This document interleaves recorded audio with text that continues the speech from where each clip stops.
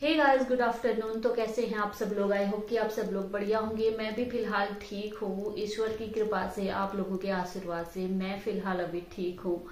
कल जैसे कि मैंने एक छोटा सा पोस्ट डाला हुआ था कि मेरी पैर में चोट लगी हुई है तो आप लोग पूछ रहे थे कि क्या हो गया है, वो भी मैं आप लोगों को बताऊँगी। और लगभग एक हफ़्ता हो गया है मैं पूरे बेड रेस्ट पे ही हूँ और आप लोग सोच रहे होंगे कि मैं बेड रेस्ट पे हूँ तो वीडियो पोस्ट कहाँ से कर रही हूँ तो उसके लिए बता दूँ कि जो आ, मैं वीडियो अपलोड कर रही थी अभी तक वो पुरानी वीडियोज़ हैं। यानी कि मेरी गैलरी में सेव थी मुझे एडिट करने का टाइम नहीं हो पा रहा था। तो इस बीच में टाइम था तो मैंने एडिट करके पोस्ट करी हुई है। और फ़िलहाल एक हफ़्ते से मैंने कोई वीडियो या फिर कोई ब्लॉग नहीं बनाया है क्योंकि मैं बेड पे पड़ी हुई हूँ। अभी मेरा दर्द काफ़ी हद तक ठीक है। अब मैंने सोचा कि आप लोगों को बता दूँ कि, कि मेरे पैर में क्या हुआ है। जो ये सुख दुख है ना वो हमारी ज़िंदगी में लगे ही रहते हैं कोई बड़ा इश्यू नहीं है। बस नॉर्मल सी चोट आई थी और होप करती हूँ कि आगे जल्दी जल्दी रिकवर हो जाएगा। आप लोगों का प्यार आता है वो एक पावर का काम करता है। जो दुख की घड़ी होती है ना उसमें आप लोग ऐसे साथ देते हो तो दर्द कम लगता है।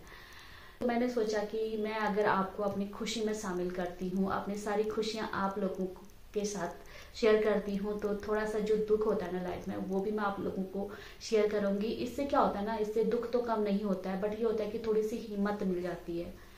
हम लोग कभी कभी अपनी हिम्मत खो बैठते हैं आप हार मान बैठते हैं कि यार क्या हो गया मेरे साथ इतना बड़ा, क्या ऐसा कुछ भी नहीं है। बस हल्की सी चोट है। वो हो जाता है, वो समय के अनुसार वो घाव भर जाते हैं, वो दर्द कम हो जाता है।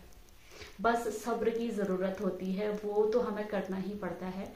तो मैं भी फ़िलहाल एक हफ़्ते से, जैसे कि आप लोगों को बताया कि मैं बैठी हुई हूँ तो मेरे जो घर के जो काम थे ना, वो सारे मेरे फैमिली मेंबर्स कर रहे हैं और आप लोग भी मेरी फैमिली मेंबर से कम नहीं है तो मैं यही सोची थी कि आप लोगों को बता दूँ।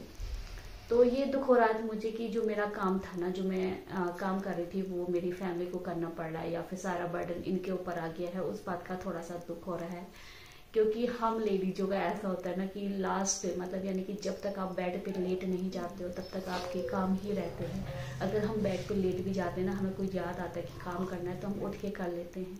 तो समय के अनुसार हम अपने काम को बांटे रहते हैं और करते रहते हैं।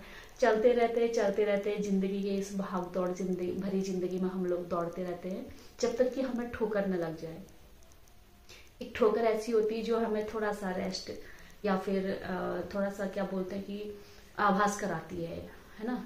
अगर ज़िंदगी में दुख ना हो तो सुख की तो कोई वैल्यू नहीं है, कोई अहमियत नहीं है।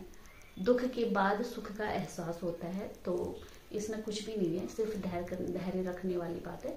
ठीक हो जाएगा। हुआ यूँ कि होता है ना कभी कभी आ, कोई मतलब जब दुख आना होता है तो बाहर में जो दशा होती है ना वो बाहर जाके नहीं होता वो कमरे के अंदर घर के अंदर ही हो जाता है। तो वही मेरे साथ हुआ। बस यहीं पे बेड पे बैठी हुई थी और मैंने वीडियो एडिट करी। वीडियो एडिट करने के बाद लैपटॉप पर कुछ फ़ोटोज़ वगैरह थी वो हमें सेलेक्ट करनी थी। तो मेरे हस्बैंड बोले थे कि उनको सेलेक्ट करने हैं। तो मैंने यही बोला कि बस अभी मैं फिर देखूँगी इनको, सिर्फ़ देखूँगी, क्योंकि अब मेरा टाइम खाना बनाने का हो रहा है, रात का खाना बनाना था, मुझे डिनर बनाना था। तो मैंने सिर्फ़ फ़ोटोज़ देखी, उसके बाद मेरा टाइम हो गया था खाना बनाने का। मैं किचन की तरफ़ को जा रही थी किचन की तरफ़ को जैसे जा रही थी, दूसरा कदम जैसे बढ़ा रही थी तो मेरा पैर एकदम से मुड़ गया और मैं, जो मेरा वेट है ना, वो सारा मेरे पैर पे आ गया। इसकी वजह से थोड़ा सा इसमें मोच आ गई और स्वेलिंग सी आई थी। तो उस समय का जो दर्द था, वो तो होता ही है, चोट लगे तो होता ही है। तो इन सभी लोगों ने मुझे बेड पे रखा तो बेड पे ये था कि जैसे बेड पे आई ना तो थोड़ा मैं बेहोश हो गई, उसके बाद क्या हुआ आई डोंट नो इन्होंने मुझे पानी पिलाया होगा, शायद पैर में कुछ लगाया, सर में तेल लगाया होगा, ये सब चीज़ें हुई। और थोड़ी देर में मैं एकदम ठीक हो गई थी। यानी कि मैंने पैर फेंका तो मैं ठीक थी। तो फिर मुझे लगा कि यार, इन सबको बुरा लग रहा है कि मैं यहाँ पर चोट लगी हुई है तो मैं गई, मैंने कहा, मैं ठीक हूँ तो किचन में गई, मैंने सब्ज़ी बनाई, रोटी बनाई, सबको खिलाया, खिलाने के बाद खुद खाया, बर्तन वगैरह सब कुछ धो धा के। लास्ट में सोते समय मैंने गरम नमक पानी से इसमें शेक वेक लगाया तो आराम था, ठीक था, सब कुछ बढ़िया था। तो मैं आई बेड पे सो गई। ये था कि जो रात में जो दर्द होता था ना, वो नहीं था, बस खाली टच हो रहा था तो फिर तभी दर्द हो रहा था। तो ठीक है जैसे सोई तो दिमाग में यही था कि सुबह उठना है, बच्चों के लिए ब्रेकफास्ट बनाना है, क्या बनाना है, वो माइंड में रात को ही चल जाता हम लोगों के। तो यही सोच रही थी, ये सोच के सो गई कि सुबह चलो मैं ठीक हूँ। और जैसे उठी सुबह, रोज की तरह अलार्म बजा, उठी, पैर नीचे रखा तो ये पैर मेरा लगा ही नहीं। इस पैर से मैं चल नहीं पाई, यानी कि इसमें बहुत ज़्यादा दर्द था जितना कि पहले दिन था। तो इन्होंने मुझे वॉशरूम तक तो छोड़ा बट वहाँ से मैं का कैसे, कहाँ? ये दराई मुझे पता ही नहीं चला क्योंकि मैं बेहोश हो चुकी थी।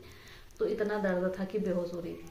तो थोड़ा सा हमें डर लगा कि यार, ऐसा क्यों हो रहा है? चलो, दर्द तो एक हद तक ठीक है कि चोट लगी है, दर्द होता है बट बेहोशी क्यों हो रही है?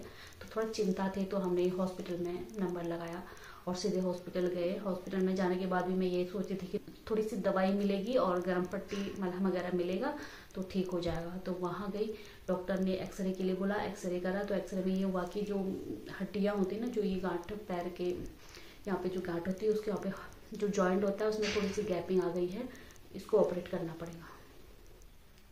तो ऑपरेट के नाम पे हम घबरा गए, मैं घबरा गई पर्सनली तो मैं घबरा जाती हूँ तो मैंने कहा, डॉक्टर साहब, मुझे ऑपरेट नहीं करना है, बस आप मुझे पट्टी लगा के भेज दीजिए। तो उन्होंने फ़िलहाल तो कच्ची पट्टी करके भेजा था हमको, एक हफ़्ते के लिए। एक हफ़्ता हो चुका है तो शायद कल हम लोग फिर वापस दिखाएँगे इसको। फिर इसमें एक्सरे करने के बाद पता चलेगा कि क्या करना है। अगर दोबारा पट्टी करनी है पक्की वाली तो फिर वो करवाएँगे। अदरवाइज़ अगर ठीक हो गया होगा तो फिर ठीक ही होगा, क्योंकि दर्द तो काफ़ी कम है अभी, ज़्यादा दर्द नहीं है। और मूवमेंट नहीं कर रही मैं थोड़ा सा भी पूरा कंप्लीट रेस्ट मेरा चल रहा है। तो यही चीज़ें हैं। आप लोग जो नज़दीक के हैं मुझ आ रहे हो, मुझसे मिल रहे हो मतलब लगभग यार मतलब एक हफ़्ते में ना, मैं तीस से चालीस लोगों से मिल गई हूँ। इतने लोग घर पे आके मिल गए हैं। मुझे मतलब क्या बोलो कि बहुत सारा प्यार आप लोगों से मिलता है। जैसे वीडियो पोस्ट तो आप लोग मुझसे पूछ रहे हो कि क्या हुआ।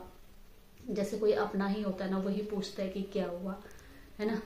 खुशी में तो हम लोग लोगों को बुलाते कि आइए, हमारी खुशी में शामिल हो जाइए। बट जो दुख में शामिल होता है ना, वो लगता है कि वाकई में आप लोग कितना प्यार करते हो।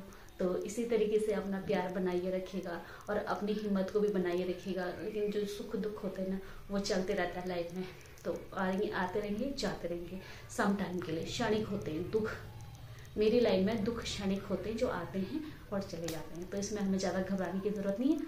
जल्द से जल्द ठीक हो जाएगा और मैं वीडियो के माध्यम से आप लोगों को बताते रहूँगी और अपने ब्लॉग्स बनाते रहूँगी आगे को भी। ठीक है? तो यहीं पे वीडियो को एंड करती हूँ। तो कैसा लगा आप लोगों को आज का वीडियो अगर आपको अच्छा लगा तो लाइक करना कमेंट करना, अपने दोस्तों के साथ शेयर करना। मैं सरिता मिलती हूँ आपको ऐसे ही नेक्स्ट ब्लॉग पे। तब तक स्वस्थ रहिए, मस्त रहिए, खुश रहिए और अपना ख्याल रखिए।